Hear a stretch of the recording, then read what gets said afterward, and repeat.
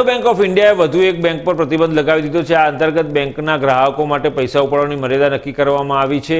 જણાવવામાં આવી રહ્યું છે કે RBI લખનૌની Indian mercantile cooperative bank limited પર ઘણા નિયંત્રણો લગાવ્યા છે. ગ્રાહકોને એક લાખ રૂપિયા સુધીના વ્યવહારો નાણાં ઉપાડી શકે તેવો આદેશ આપ્યો છે.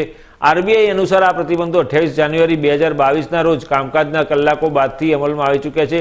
આરબીઆઈએ શુક્રવારે એક નિવેદનમાં જણાવ્યું હતું કે લખનૌ સ્થિત કોઓપરેટિવ બેંક તેની મંજૂરી વિના કોઈપણ લોન એડવાન્સ અથવા તો કોઈ રોકાણ જારી કરી શકશે નહીં અથવા કોઈ પણ રોકાણ કરશે નહીં. આરબીઆઈએ કહ્યું કે બેંકના કોઈપણ જમા કરતા એકાઉન્ટ ધારકને બચત ચાલુ અથવા અન્ય ખાતાઓમાંના તમામ બેલેન્સમાંથી એક લાખ રૂપિયાની વધુ રકમની ઉપાડવાની મંજૂરી આપવામાં આવશે નહીં. જોકે આરબીઆઈએ કહ્યું કે આ નિષેધાત્મક નિર્દેશોને આરબીઆઈ દ્વારા બેન્કિંગ લાયસન્સ રદ કરવા તરીકે જોવી નહીં.